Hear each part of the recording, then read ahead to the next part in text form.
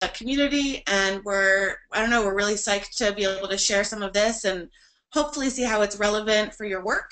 Um, so just very brief about us. Um, we, Adam and I both work with a company called Grid Impact. Uh, we are a collective of researchers and designers that sit all around the world, uh, six continents.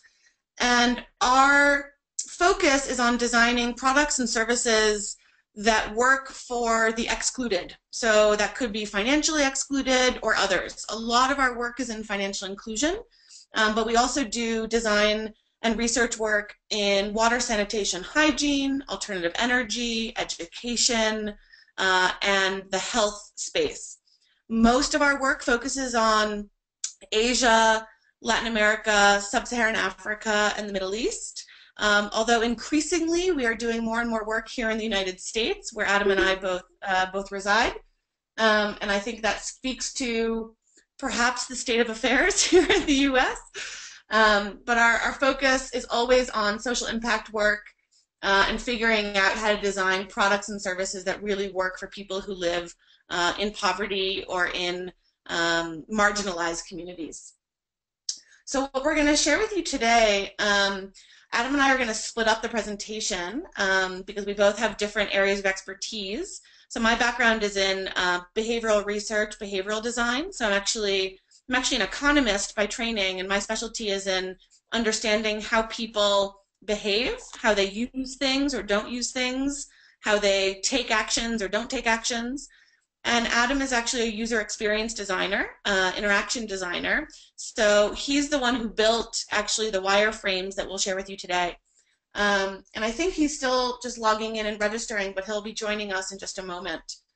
Um, so I'm going to share with you just a bit of the introduction to the project and some of our, our research in this in this topic, uh, and then Adam will walk you through the output, which were uh, which was this design toolkit focusing on a set of transaction flows, wireframes, visual language, etc., that can be used for smartphone apps uh, in the mobile money space in Pakistan.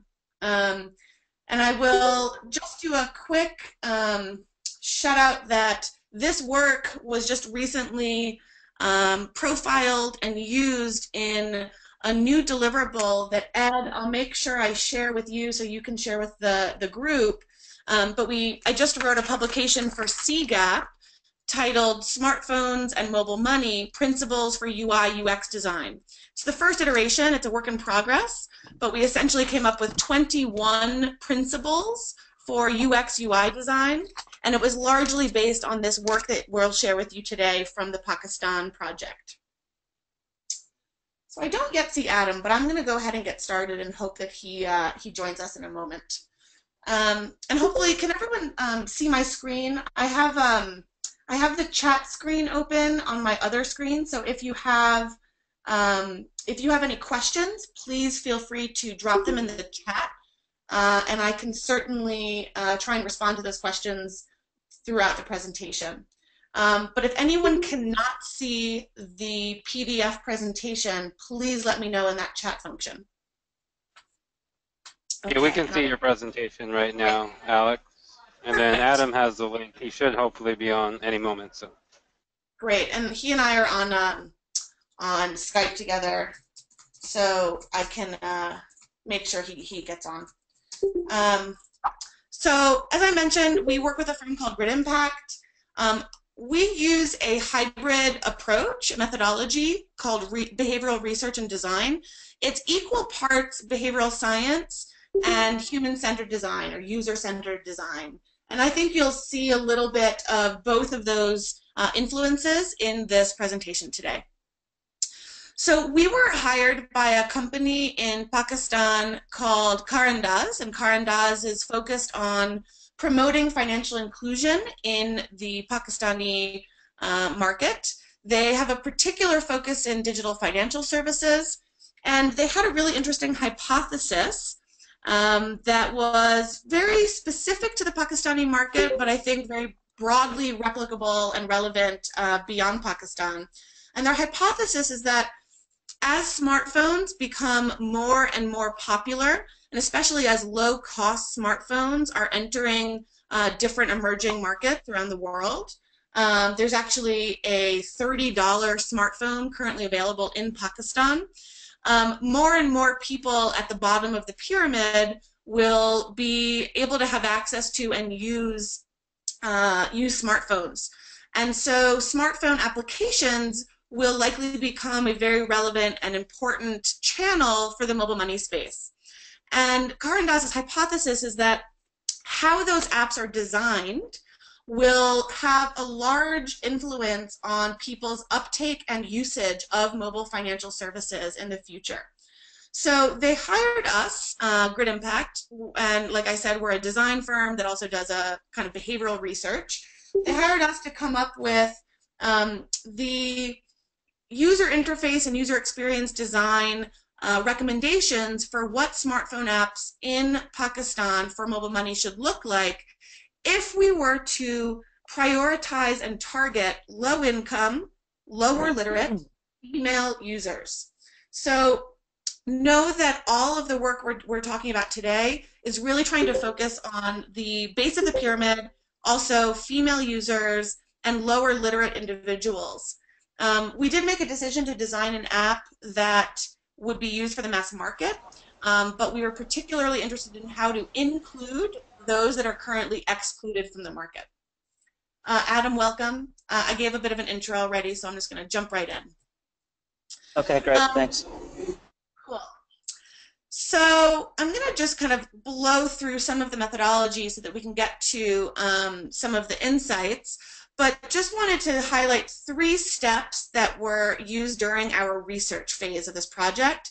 We actually did a fairly comprehensive competitive audit of other smartphone mobile money applications from key markets around the world, as well as looking at the available apps uh, used in the Pakistani market. Um, and we all of this is public, so we'll make sure we share this deck with you. There's a microsite where it's all available. Um, and this competitive audit is also available uh, online um, as a public good. Um, but we wanted to really get a sense of the local context in Pakistan, as well as what was happening globally uh, in terms of trends in smartphone app, uh, mobile money smartphone app designs uh, from contexts like India, Nigeria, the US, and other markets. That competitive audit helped us just understand what some of the global trends were.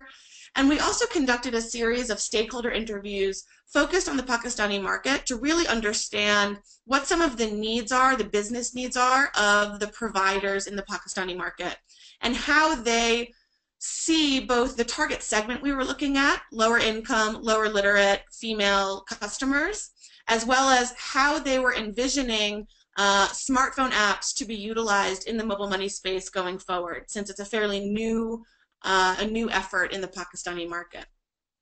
And then finally, and probably the most important aspect of our approach on this Pakistan work was that we, we conducted a series of interviews, both with mobile money customers, current customers, former customers, and actually a few non-users as well, people who are not currently using mobile money, as well as um, uh, mobile money agents. So we actually did a, a series of interviews with agents. And our goal with these interviews was just to understand how people currently view mobile money services, how they currently use mobile money services, what phones and what uh, devices are they using to access mobile money. In the Pakistani market, OTC, over the counter, is a highly utilized channel for mobile money. So there's there's far less independent use in Pakistan than in other markets. So we really wanted to understand why that was the case and how we might be able to leverage that uh, in the design of a smartphone app. Um, once we had a good understanding of the market uh, and user needs and desires, we were able to go through our design process, which started with a concept phase, excuse me. Um, so we did a, a, very rapid ideation to think about uh, possible solutions, approaches, and features that might respond to some of the, the insights that we generated during that research phase. And then we came up with three interaction models that had three very different approaches to um, the kind of perspective, the, the, the unique perspective of the potential app that we were designing. And then through a process of, of iteration, we uh, refined the models, uh, and then moved into developing low fidelity prototypes. Um, so our prototyping process um, used both low fidelity paper prototypes as well as high fidelity clickable prototypes on low cost smartphones.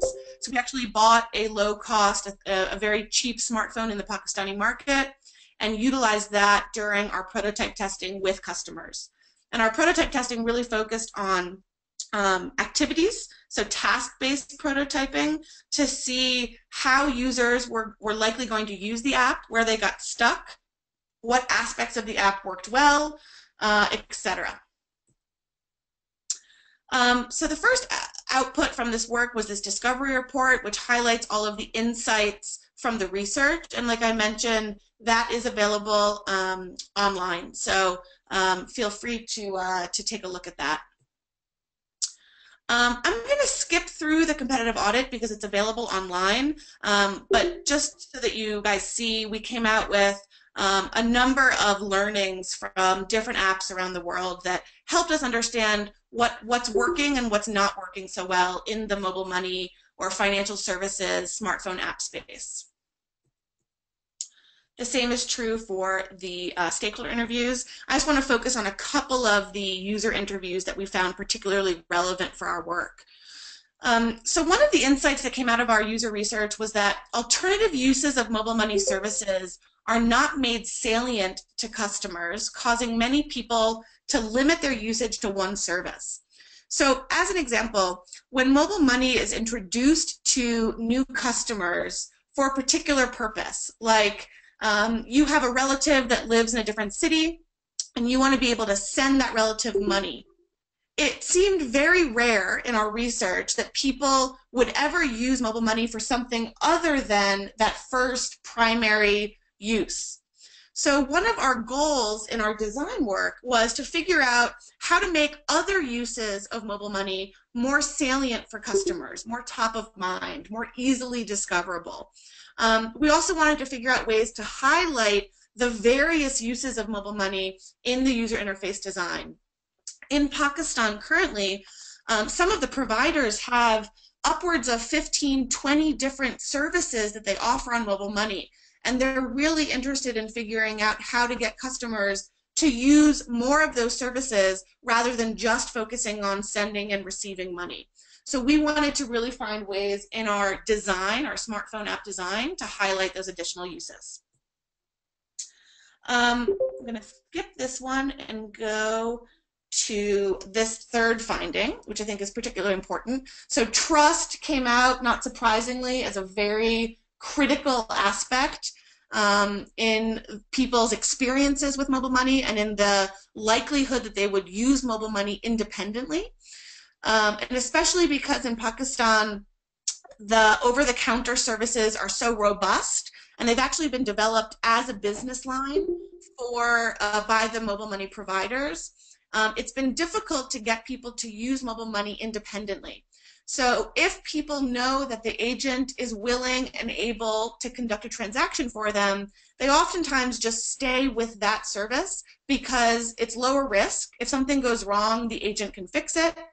Um, and there's this behavior called satisficing in behavioral science um, that basically tells us that because using an agent works good enough as is, there's very little incentive for customers to try and use mobile money independently.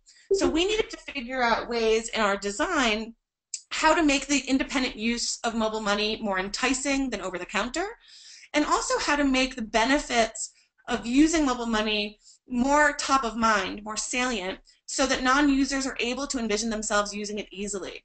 So people, we needed to figure out how to get over this trust aspect, this distrust aspect, I should say, um, using clever uh, visual and friendly uh, designs in the smartphone app.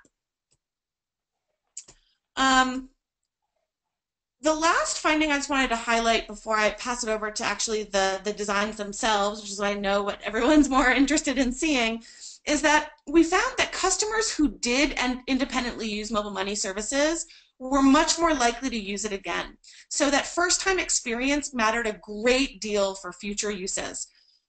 this became particularly important because we we spent a lot of time in our design work thinking about what should the first time use of this mobile money service be like for customers. How can we perhaps coach new customers during their first time use? How can we really leverage the smartphone interface to make it a very user-friendly, excuse me, user-friendly, comfortable, easy, informative experience. Um, and you'll see in the uh, in the final designs uh, what our approach to that was. Um, but this became a really important insight for us throughout the design process. So just to wrap up from the user interviews, where we decided to focus uh, in our design work definitely was on the onboarding experience, as I just mentioned. We also really wanted to think through the usability and desirability of key flows. Um, as I mentioned also, the first time use for key transactions, how can we really make that as easy and user-friendly as possible? And then also focusing on which features and benefits of, of mobile money should we try and bring top of mind for customers? So how can we move people beyond just that obvious use case of sending and receiving money? Um, as I mentioned, the, the ask that we had was to focus on lower literate, lower income, and female users.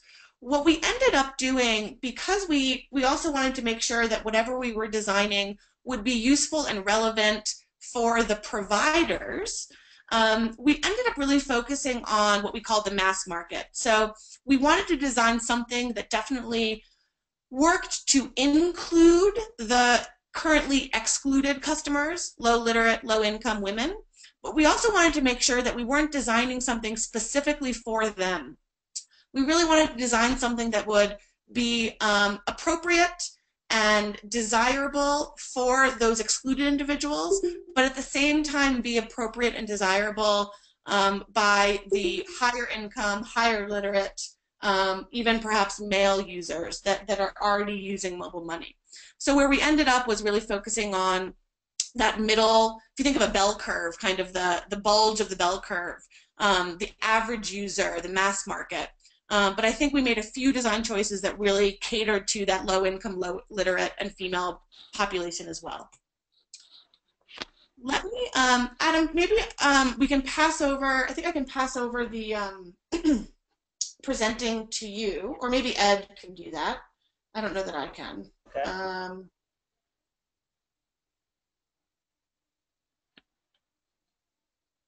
Adam, you should have the controls now, so. Okay. Do you see my screen? yes. Yeah, your screen's visible. hmm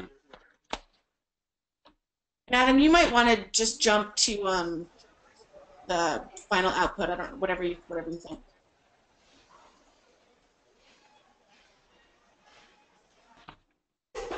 So just double checking again. You see my screen now?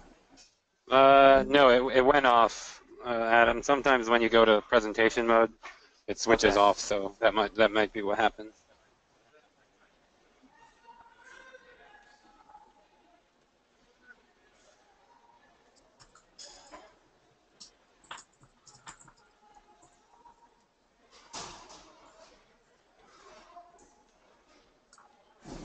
And how about now? Is this better?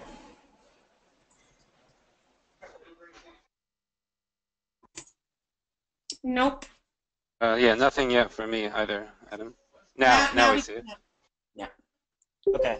Um, I just want to quickly revisit this page that Alex showed you before. Um, so our concept phase started with ideation. So coming out of that research phase, we had these how might we statements that Alex shared some examples of. How might we make the other features more salient? We used those statements to, to drive our brainstorming sessions and to generate a number of feature ideas that we thought would address the research findings with all those different feature ideas, we started to assemble what we called interaction models.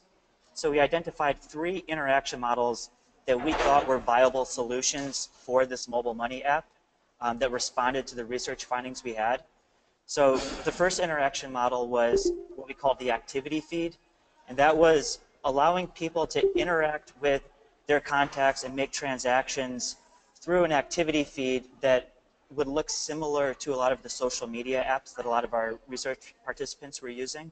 So someone could initiate a transaction by looking at the their their list of recent activity.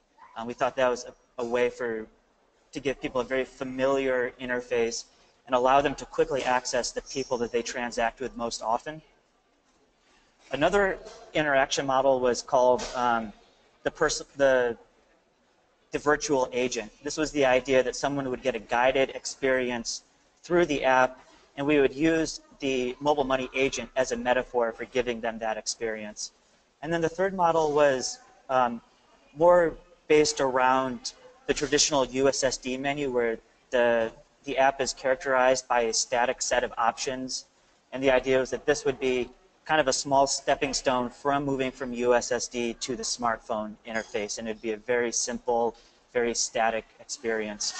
So we had these three different models. We worked with our partners to narrow it down to two. And when we went into the prototyping phase, we had these two models. And the goal of that prototyping phase was to identify which model um, work the best for our target users. So if I just, if I visit this page again, it shows our prototype methodology. We started with some very, very low fidelity activities where we had hand-drawn sketches on paper, and we were uh, using that as a way to facilitate conversations with our research participants to show them to show them different ideas and have them articulate and, and be able to describe what they wanted to see from this app. As we increased the fidelity of the solutions, we started showing them paper interfaces and again getting um, feedback about which model was the most appropriate for them. And then we increased the, the fidelity even further. We started creating more detailed wireframes.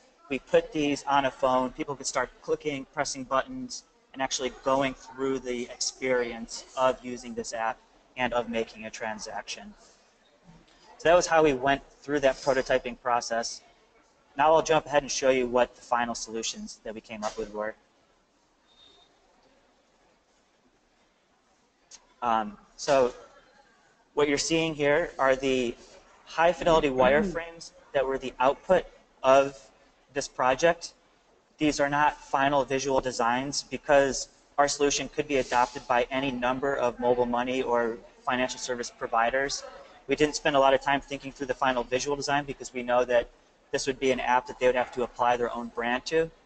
But we did spend a lot of time focusing on the design of icons because these were very culturally relevant to the market and we really wanted to make sure that the icons um, were symbols and images that people could understand and identify with. So, so what you're looking at is, again, high fidelity wireframes but very intentional use of illustrations and icons.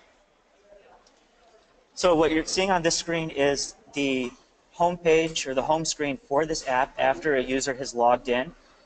Um, we chose the model that favors large buttons, static options, and a small set of key actions that a user is most likely to take. So the idea is let's focus the user on those key actions and let's keep this home screen very static. Every time they come visit it, they're going to see more or less the same options. And part of the thinking of this is that for low literate or illiterate users, um, this would be a much more easier, easier interface for them to memorize.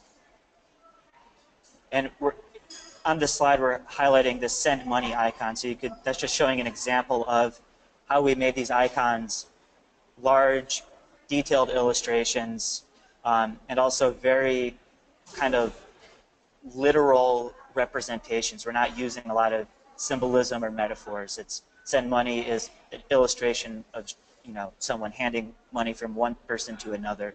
So trying to make them very literal um, in their meaning. Moving on to the next screen, um, the second key feature about this model was using personalized suggestions. So through our research, we got to understand that most mobile money users in Pakistan are only transacting with two or three or four people. So they're, they're, the people that they're sending and receiving money from is a very, very small group of people. So we wanted to make it very easy for someone to quickly repeat a transaction or quickly access um, a contact they've recently transacted with. So we're using some mechanisms in the interface to serve them these personalized suggestions based on previous activity. It's also a way for us to um, help them discover new features. So in this space where we're showing them people they've recently transacted with, we could also use this space to suggest new features that maybe we think they haven't quite understood yet. So if we see that someone has um, been using the service for many months but have not used it to pay the bill yet, we might use this space to say, hey, did you know that you could use this service to pay your bills? Because uh, again, one of our research findings is that everyone understands that you could use mobile money to send and receive money from friends and family, but a lot of people weren't aware that these other services even existed. Moving on to the next slide, um, we're showing one of the other key features, which is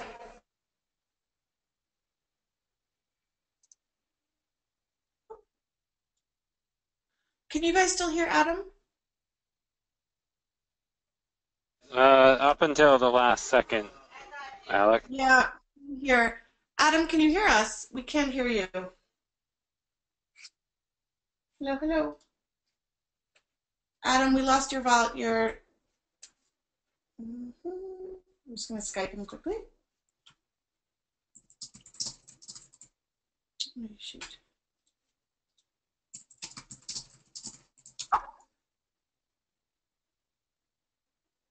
Um, sorry guys, give us one second. Technical challenge.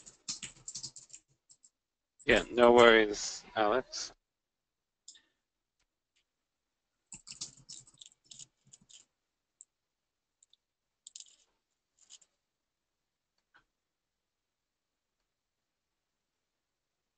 Hmm.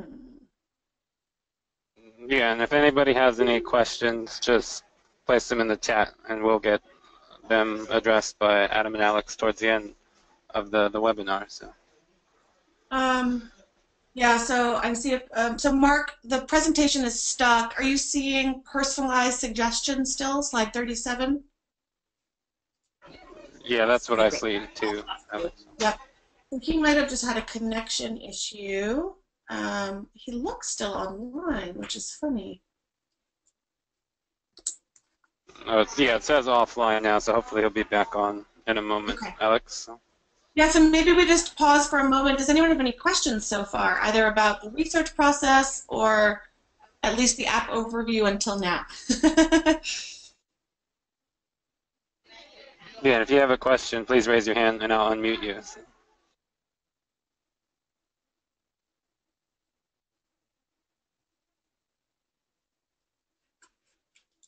So Adam just texted me. He's he's logging back in.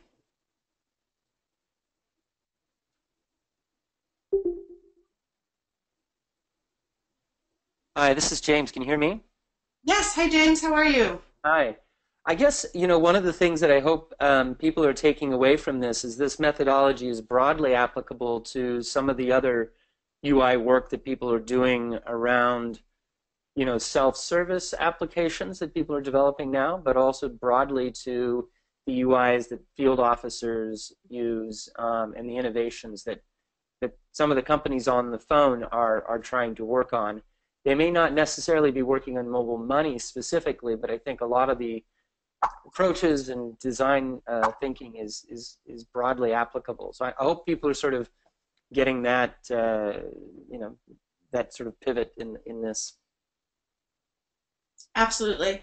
Yeah, and, and just to maybe piggyback off of James's comment that we use this same methodology in almost all of our projects. So whether it's service design or um, UX, UI design, or actually designing a financial product itself, the exact same methodology of doing behavioral research, concepting, prototyping, doing prototype testing with users. It's the same methodology we, we follow for all of our product, service, experience design work. So we're sharing with you just this one UI UX uh, project, but uh, the methodology can be used much more broadly. Yeah, there Um, was one question. Go ahead. Oh yeah, we can hear you again, uh, Adam. And there was one question from Uya, uh, Alex, for you that you know dovetails well with what you were just saying. So. Yeah, and, and Oh, could yeah, I I'll- sort of hop on hop on just one last point here? Um, which is um, if you could share maybe some of the stories of some of the geeks that saw the designs and sort of had that moment of, oh, I, I get it. I should have done X. And I'll drop off now. Take your answer. um, so just to read out the question for everyone, so Uya asked, is there an impact if in the UI if it is developed by geeks only without the input of experts of social behavior? Um, so that's I love that question. That's hilarious, actually. And uh, Uya, write to me where you're based. Also, I'm just curious where people are sitting. Um, um, so I you don't necessarily need in Nairobi. Great. We should totally meet next time we're in Nairobi, Uya. Um, I don't think that you necessarily need uh, when I when you say social behavior, I'm assuming you mean like a behavioral researcher or behavioral designer. I don't think necessarily you need that on the team. The most important aspect of this methodology and the reason that we feel really confident in where we landed with the design and one of the reasons that the Pakistani market is quite excited about the final design is that we included end users and agents in both the research, so the generation of insights, as well as in the prototype testing process.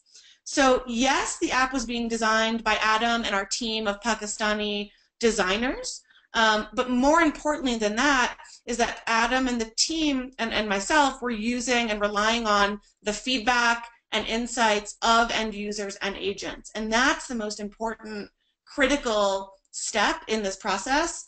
Me being a behavioralist certainly adds it's like a nice to have, but it's not necessarily a need to have. Um, but the, the need to have from our perspective is that we really rely on um, feedback and input from end users and agents and, and providers themselves as well, I should say. So Uya, let me know if that answered your question. Um, otherwise, we can we can definitely come back to that. Um, but it sounds like Adam, you're back. If you want to pick up where you were,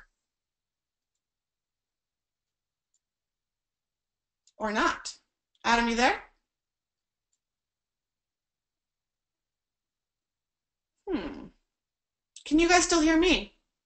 Yeah, I can still hear you, Alex. And Adam should, yeah, he's unmuted, so hopefully we should be able to hear him. He looks like he's online. Okay. Adam, are you there? All right. Well, um, Ed, why don't you um, send the um, presentation back to me because I don't know what happened. Um, yeah, I made you presenter once more, Alex. So. Okay. And I'll just pick it up, and um, I, I, won't, unfortunately, do as good of a job as uh, as Adam would have, but um, you know, I was participating, so. um, let me just open up the uh, the deck one more time, guys. Hold on one sec. Um, okay. Show screen. So can you guys see the deck again? Yep, it's visible. Great. Um, so I'll just pick up, I think, where Adam was going. So I, I think he mentioned this contextual help feature, um, but I'll just, I'm going to pick up here because that's where my brain is at at the moment. Um, we really focused on um, coming up with um, a way, so this kind of live assistant, if you will. It's not actually live, it's all coded. Oops, sorry. Um, but this idea that you've got a, an assistant who kind of mimics the um, the agent in an over-the-counter transaction, the the app assistant can mimic that kind of support and help throughout the app.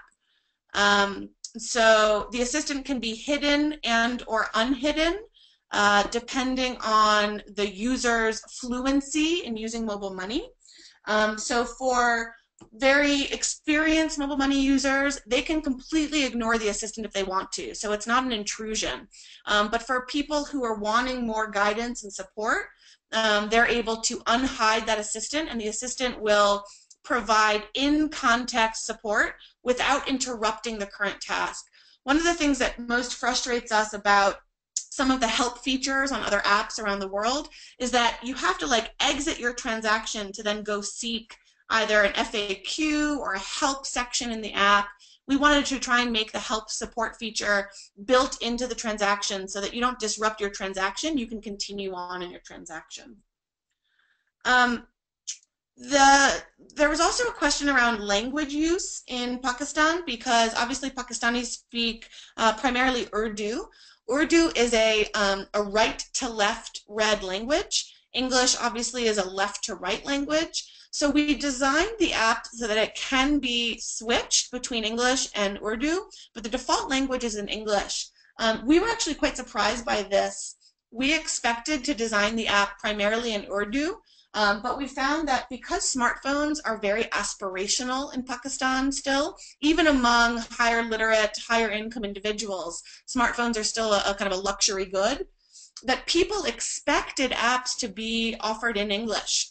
Um, so we ended up designing the app primarily in English with this feature that you can switch to Urdu, but we decided not to switch from left to right to right to left. Um, so instead of mirroring the app, we kept the app uh, format and, and, and design in an English left to right um, design, but the um, the text could be translated into um, into Urdu.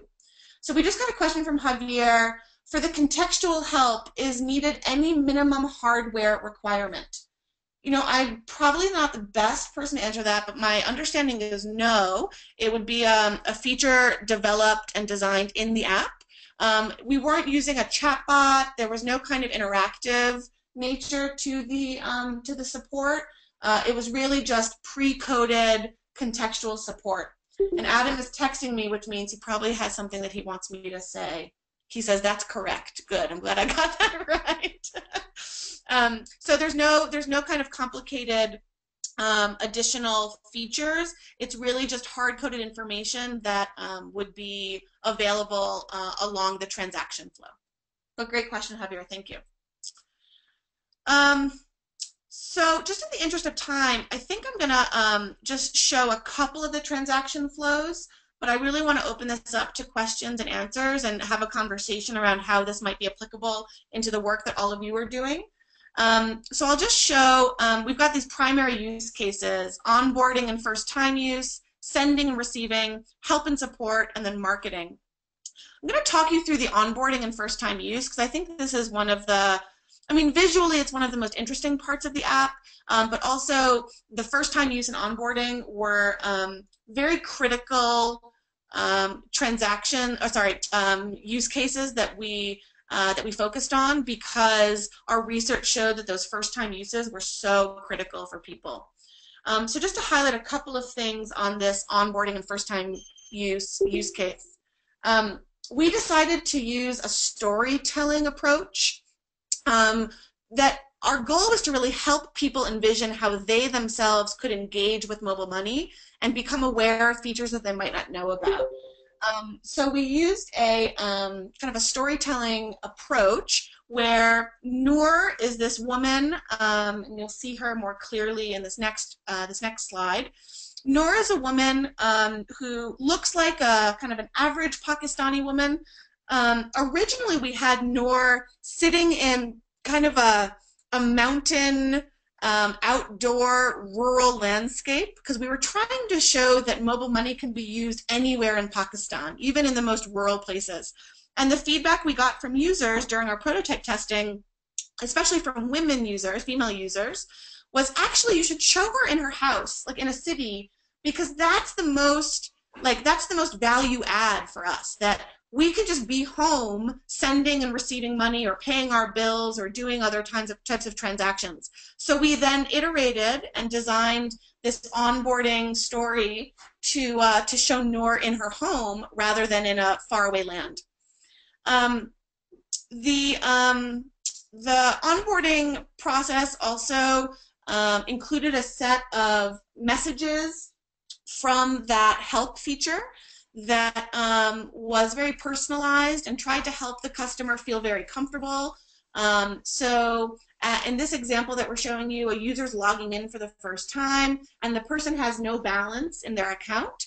Um, so then the assistant, that help feature, is suggesting that the user go and find a shop so that she can um, put money into her account, for example. And the button that is highlighted is locate shop to try and help the person find a shop closest to her. Um, let me pause there. Um, I just want to maybe highlight and give you a little bit of a zoom in on um, some of the visual language that we used. So um, on the bottom right of the slide, you're seeing some of the icons that we tested with users, very flat icons. These actually were um, more difficult for customers to understand. We also had tested out a horizontal tabbed menu, uh, which we found that, that users found also more difficult to discover and understand. So these um, highly illustrated, dynamic, multicolor uh, buttons, icons, were where we ended up landing because it was much easier for customers to use and, and discover. Um, let me just move forward a little bit. And again, we're going to send you links to these decks so that you have access to all of it.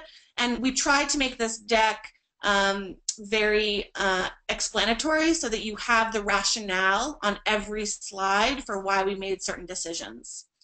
So let me just move forward. And Adam, I saw your text to me, and I will read that out in just a moment.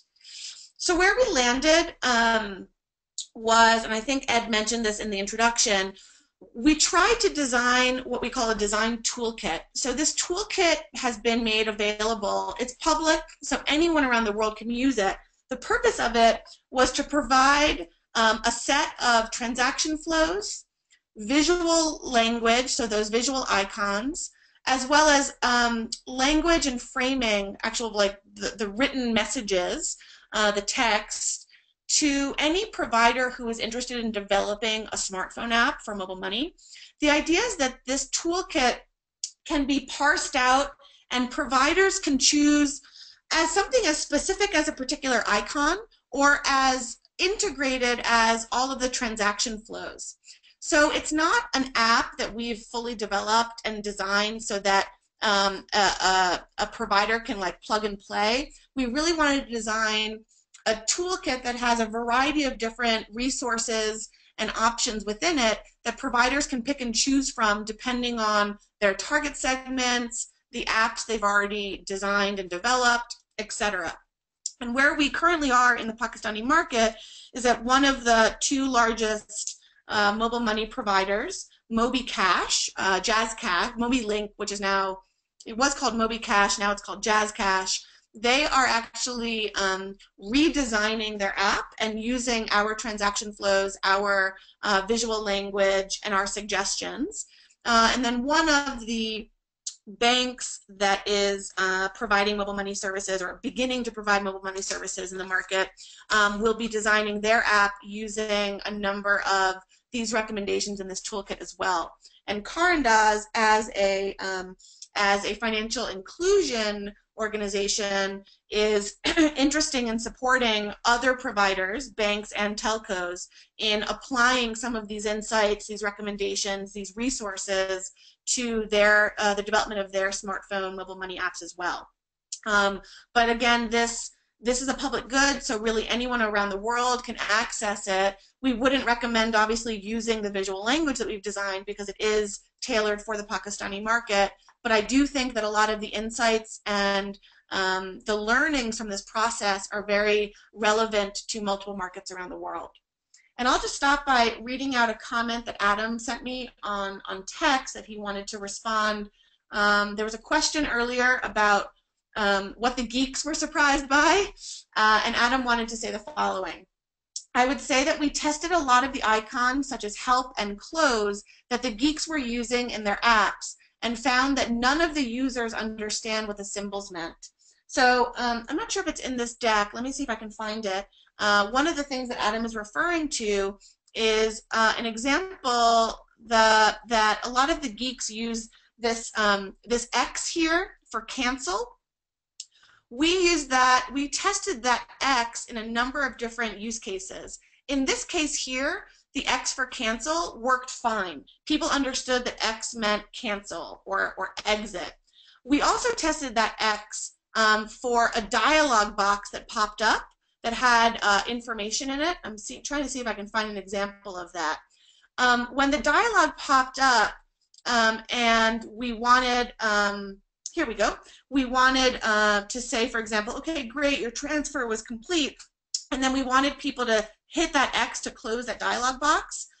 Participants did not know that the X meant close.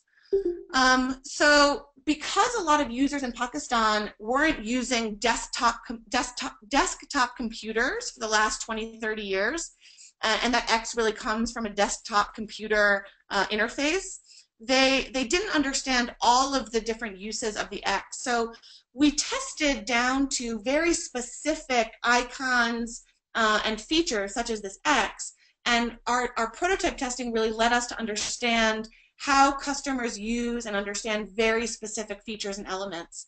And that's why this prototype testing with users is so critical. Um, so I think that was one of the things that was most surprising to us. Um, we also, um, the same can be true for the next and the back buttons, how to move forward. All of these learnings are shared in this deck um, and in some of the resources on the microsite that we will share with you.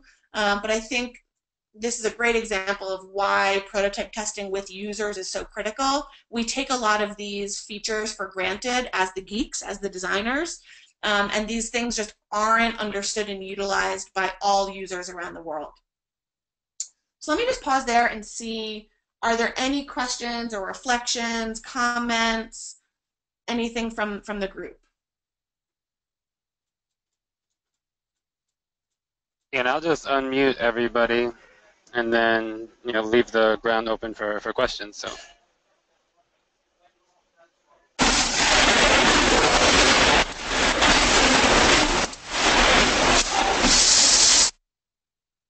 Okay, so the floor is open now for any questions you might have for Alex or Adam. So please uh, share any that you have. And we'd also love to hear reflections like, is this kind of work or work that you all are doing? How might it be relevant?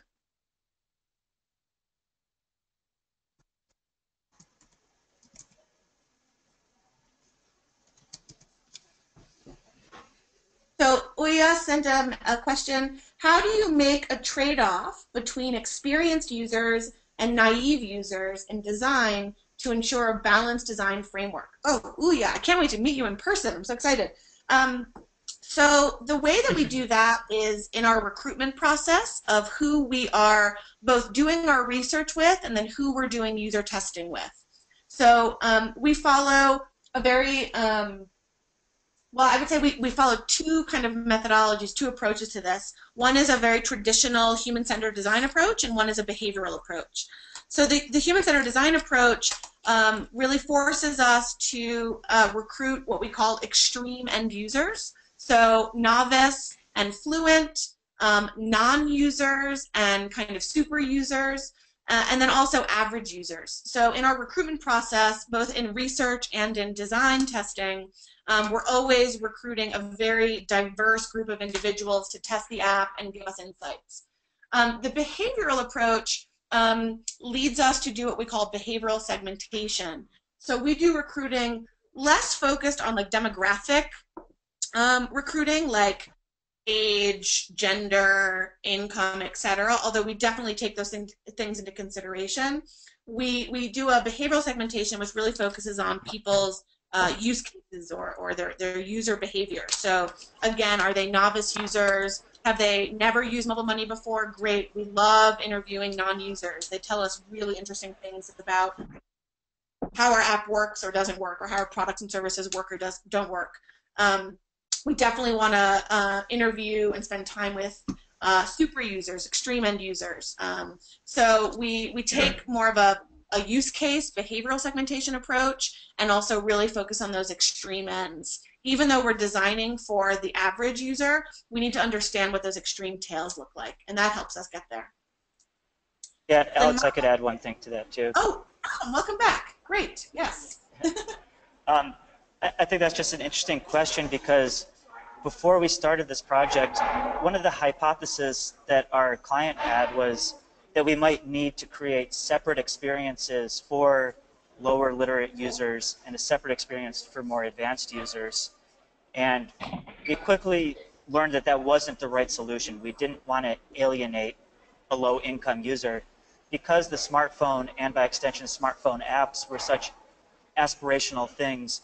No one wanted to felt no one wanted to feel like they were using something designed for a less educated person. So that definitely became one of the challenges. How do we make design an interface that serves all these uh, different users and different needs? Awesome. So Mark asked a question, and maybe Adam, you can just you can now that you've got sound back, you can respond to this one. How did you test user scenarios, and how did you assist the users during the process?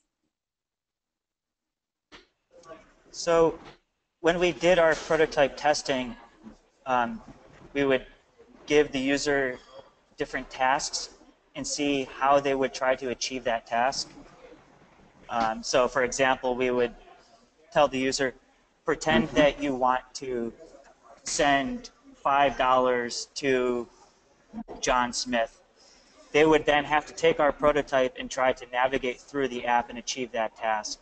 And we would observe them doing that. We would encourage them to think out loud as they were going through that process so that we are able to understand what their thought process is, what what they're looking at on the screen, what they think the different options are. Um, and if people got stuck, we would kind of let them get stuck. We would see how they would try to get unstuck. You know, and eventually if someone just felt like became too frustrated, then we would give them hints or tell them what we thought the right solution was. Um, so I, hope that answers your question. I'm not, maybe I didn't understand that right. No, that's, I think that's right. So it's very task-based, Mark. Very task-based. So one more question, Adam. Um, thanks for the presentation. Super useful. How do we address a situation? Whoop, I lost the question. How do we address a situation where a single device may be shared among multiple users, for example, a family, with different needs?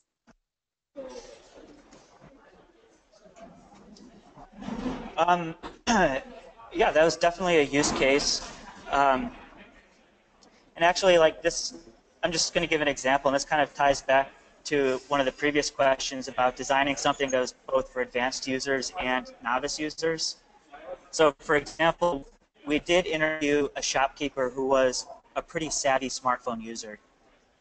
And this person clearly didn't need the help of the assistant. So we asked them, like, would you prefer to not have the assistant? Do you think that this might get in your way? Um, and he said, no, keep the assistant because sometimes I give my phone to the boy that works in my shop to do transactions for me, and that boy might benefit from having the help of the assistant. Now, I think your question is more about what if different family members with different mobile money accounts are sharing the same phone. And I think that's there's a lot of technical considerations in that because an account is tied to a phone number. There isn't the notion of like logging out and switching accounts. Uh, so I'm not sure if that's your question or how to answer that, or Alex, if you have any additional comments about that specifically. I think you got it. Yeah, for sure. Um, so then we also have from Tarun. Um, wait, I lost it. Sorry. Um, did you also incorporate the specially abled people, like visually impaired people, as well? Any guidelines for that? Want to take that one, Adam? We did not focus. Yeah, we didn't focus on making the app accessible for people with disabilities. That was just sort of, in some ways, outside the scope of this project. But of course, we wanted to to the best of our ability, not exclude anyone. And a lot of the participants we had were women, were older women who did have, um, you know, vision impairment problems or whose hands might not have been as dexterous as the average user. So that definitely led us to make design decisions around having larger buttons, larger font sizes, reducing the amount of text on a screen.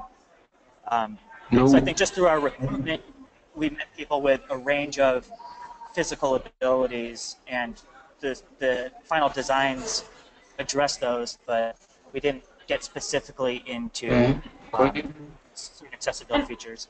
One thing I'll add to that, which is our we didn't talk about this, but the app does have an audio function. So um, the, the help the contextual help feature, the assistant, she can be read out loud uh, in either English or in Urdu.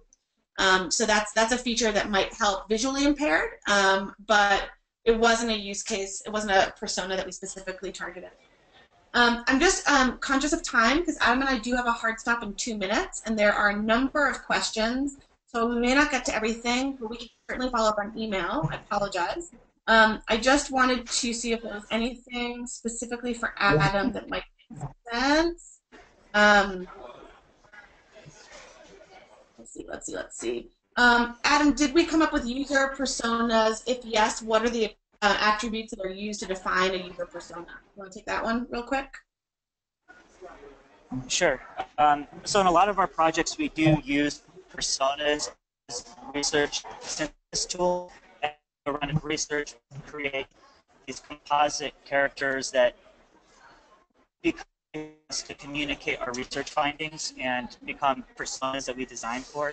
We did not do that in this project. Um, I think that our, I think everyone, our client and our partners had a pretty good idea of who we were designing for. So I, I don't think we felt like that was a super valuable tool in the process. But in other projects that Alex and I have worked on, we definitely personas, and we um, use those as a vehicle to kind of synthesize the findings and then share those and communicate those with partners and clients. Awesome. Thanks, Adam. So, um, what I would love to thank you, Uya, for the nice message. Um, what I'd love to do, if it's okay with everyone, there's about three or four questions that we didn't get to. If it's okay, um, Ed, maybe Adam and I can take those questions and, and respond to them in email and then share that with you, and perhaps you could share that out with the group. Would that be an okay way to handle those questions? Yeah, that's perfect, Alex. So no, thank you, uh, both you and Adam, for all your time today. And you know, this has been really beneficial, and we're looking forward to sharing the microsite and the research findings uh, after the webinar. And I've recorded this as well, so I'll send the, the screencast to others too. Great, and I'm just copying down the questions that we to everyone. I do want to say that Adam and I are happy to have any follow-on conversations. Um, if um, if anyone wants to reach out to us, Ed has our emails. We're also on social media, so please feel free to reach out um, if there's anything we didn't get to that you've got further questions on. Yeah, and we'd love to have you or Adam, Alex in the future at any you know conferences or events we might be hosting where we bring our community together, where you could lead you know sessions where you go over these principles and best approaches to doing this type of research and prototyping. Happy to do it, especially for a group of individuals that um, you know I think we all on this call share a kind of a common vision for um, creating products and services that really work for, for marginalized individuals. So anything we can do to support that community, we're happy to do. So we really appreciate you guys taking the time out of your days and evenings. I know it's late where some of you are, so much appreciated for the time and, and for the really wonderful questions. We're, we're happy to be connected to all of you. Okay, thank you again, Alex, and thank you everybody for attending today, and thank you once again to, to James for bringing Alex and Adam here and proposing the idea of this great session. Thank you. Thank you guys. We'll have, have a our great next- day, morning. Your next community meeting will be in a little bit of time. We'll have our public developer meeting. So thank Thank you. you. Thank you. Thank you guys. Take care.